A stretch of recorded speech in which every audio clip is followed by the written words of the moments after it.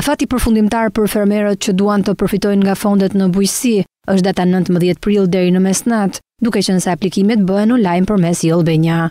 Skema Kombëtare dy mijë e njëzet e katër vë në dispozicion të fermerëve tridhjetë e dy milionë euro të cilat do të shkojnë për mbështetjen e tyre.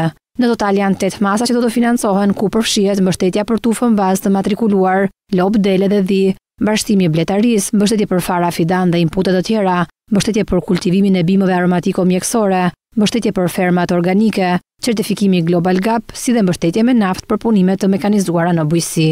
Këtë vit i është dhënë më shumë përparësi bashkimit të fermerëve duke u mundësuar financim njëqind për qind, ndërsa për aplikantët individualë do të ketë ndarje proporcionale të fondit të mbetur si dhe në një tavan të caktuar mbështetja përgjysmohet. Sipas të dhënave të Ministrisë së Bujqësisë, këtë vit interesi ka qenë i lartë, ku deri më tani kanë aplikuar mbi gjashtëdhjetë e pesë mijë fermerë, gjashtëmbëdhjetë shoqëri të bashkëpunimit bujqësor dhe dyqind e tetëdhjetë grupime fermerësh edhe pse shifrat përfundimtare janë më të larta.